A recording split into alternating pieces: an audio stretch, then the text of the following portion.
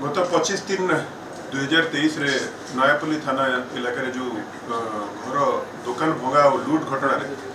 ଆମେ ଆଗରୁ ଉଣେଇଶ ଜଣ ଅପରାଧୀଙ୍କୁ ଗିରଫ କରିଥିଲୁ ସେଥିରେ ଯିଏ ମୁଖିଆ ଥିଲେ ରାଘବ ଜେନା ସେ ଘଟଣା ପରଠୁ ଫେରାର ହେଇଥିଲେ ବିଭିନ୍ନ ଜାଗାରେ ସେ ଲୁଚି ବୁଲୁଥିଲେ ତାଙ୍କୁ ଆମର ତିନିଟା ଟିମ୍ ସାଇମିଲଟେନିୟସଲି ତାଙ୍କୁ ଫଲୋ କରୁଥିଲା ଆଉ ଗତକାଲି ଆମେ ତାଙ୍କୁ ପାଙ୍କିରୁ ଗିରଫ କରିଛୁ ତାଙ୍କ ସହିତ ଆଉ ଜଣେ ସହଯୋଗୀ ସୌମ୍ୟରଞ୍ଜନ ରଣସିଂହଙ୍କୁ ମଧ୍ୟ ଆମେ ଆଜି ଗିରଫ କରିଛୁ ଓ ଆଜି ତାଙ୍କୁ କୋର୍ଟ ଚାଲାଣ କରାଯିବ ଏମାନେ ପଚିଶ ଟିମ୍ରେ ଯେଉଁ ଘଟଣା ଘଟିଥିଲା ଏଥିରେ ରାଘବ ଜେନା ହିଁ ମୁଖିଆ ଥିଲେ କିନ୍ତୁ ୟାକୁ ୟୁଜ୍ କରିବାରେ ଆଉ କିଛି ଲୋକଙ୍କର ଆମେ ଇନଭଲ୍ଭମେଣ୍ଟ ଆମେ ଭେରିଫାଇ ଇନଭେଷ୍ଟିଗେସନ୍ ସମୟରେ ଆମେ ଜାଣିପାରିଛୁ ଆଉ ସେମାନେ ଆକ୍ଚୁଆଲି ରାଘବ ଜେନା ଓ ଆଉ ତାଙ୍କର ଯେଉଁ ଟୋଟାଲ ଅପରାଧୀ ଗ୍ୟାଙ୍ଗ ଥିଲେ ତାଙ୍କୁ ବ୍ୟବହାର କରିଥିଲେ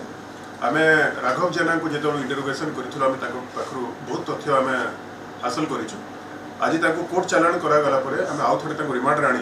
ଫର୍ଦର ଇନଭେଷ୍ଟିଗେସନ୍ ଆମର ଏଥିରେ ଜାରି ରହିବ ଆଉ ଏଥିରେ ଆହୁରି ବି ବହୁତ ଅପରାଧୀ ଯେଉଁମାନେ ଏବେ ବି ଫେରାର ଅଛନ୍ତି ତାଙ୍କୁ ଧରିବା ପାଇଁ ଆମର ଉଦ୍ୟମ ରାଘବ ଜେନା ଏହି ଘଟଣା ବିହେଲା ପରେ ପୁଲିସ୍ ଯେତେବେଳେ ତାଙ୍କର କାର୍ଯ୍ୟାନୁଷ୍ଠାନ ଆମର ଆରମ୍ଭ କରିଥିଲୁ ଉଣେଇଶ ଜଣ ଅପରାଧୀ ବିଭିନ୍ନ ସମୟରେ ଗିରଫ ହେଇଥିଲେ ସେହି ସମୟଠାରୁ ସେ ଫେରାର ଥିଲେ ଓ ସେ କୌଣସି ଜାଗାରେ ନିର୍ଦ୍ଦିଷ୍ଟ ସମୟ ପାଇଁ ରହୁନଥିଲେ ଯେହେତୁ ତାଙ୍କୁ ପୁଲିସ୍ ଚେଞ୍ଜ କରୁଥିଲା ତ